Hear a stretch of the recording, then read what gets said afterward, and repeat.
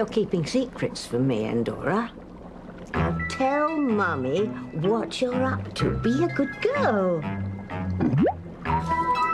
Fine, fine. But I know you're up to something. And knowing you, you're probably dabbling in the cesspool of human emotions, aren't you? Well, at least I know you're not trying to get Kay and Miguel together because you want Kay and your big brother Fox to bask in the sunshine of marital bliss. Oh, how cliche and how dangerous. We want Kay to get her into Miguel to prevent him from ever making love to Charity. That way, all the witches in this house are going to be safe forever. Now listen to me, girly girl. No matter what you're up to, you know that Kay still has very deep feelings for Miguel. Uh, not to mention the fact that she accepted Fox's proposal of marriage before the planets got back in alignment. So, their love is doomed anyway. Ah, not even you can fight the stars, Endora.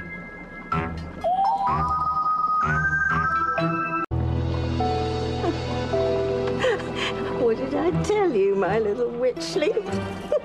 RK is lying in Fox's arms and thinking of Miguel. Look at the guilt on her face. Really, you'd think any member of the dark side, even a neophyte like Kay, would be able to put on a better poker face than that.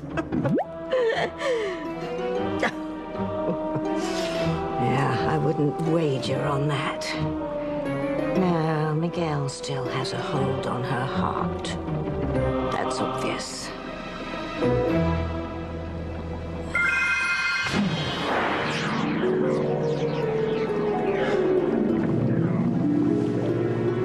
Now what are you up to?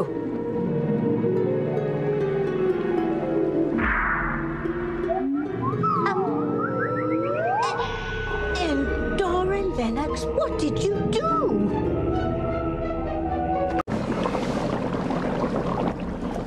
What have you done to Miguel, young lady? Answer me. It had better be. Because if, if Charity and Miguel ever get together again and do push-push, you and I could be crushed in the last battle of good and evil. eh, If we last that long. Oh, no, you don't, young lady.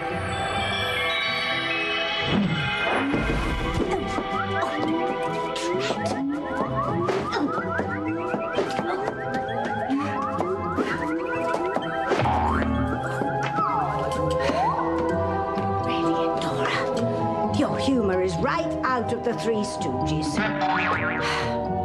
Really, darling, what do you think you're doing? Oh. Now, where are Kay and Miguel going at this hour?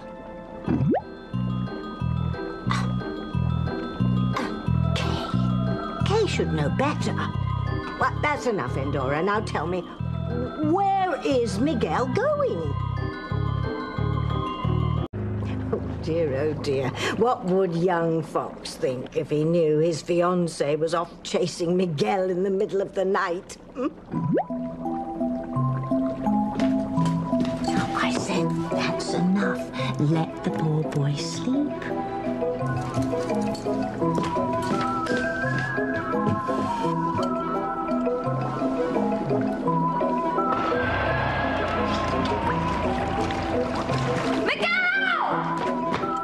Whatever you've done, my little witchling, I hope you know that it's vital to keep Miguel away from Charity.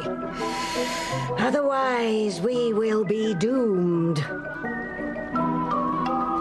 Now what?